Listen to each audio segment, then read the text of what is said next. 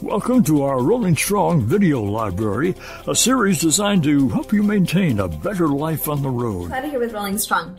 This video is part two of the series Holistic Medicine Techniques for Drivers. As I mentioned in the first video, holistic medicine is a form of healing that considers the whole individual. It looks at five aspects of the individual like the physical, emotional, social, spiritual, and intellectual aspects. In the first video, I talked about aromatherapy, reflexology, and mind-body therapies. In this video, we're going to talk about two more holistic medicine techniques that can also benefit you. The first one is getting a massage and going to a massage therapist. As a driver, you spend so much time sitting that it's normal for muscles to get tense. Getting an occasional massage can help you relieve that muscle tension and have you feeling relaxed. The second one that I'm going to recommend is counseling.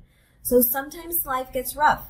And if you've had changes in your life, like losing a loved one, going through divorce, moving, or any other major change, even if it's a good one, can make us feel stressed. If you feel like you need to talk to someone, reach out to a licensed professional counselor. They'll be able to teach you the tools that you need to deal better with life's challenges. If you have insurance, see if they cover some counseling sessions. A lot of plans do.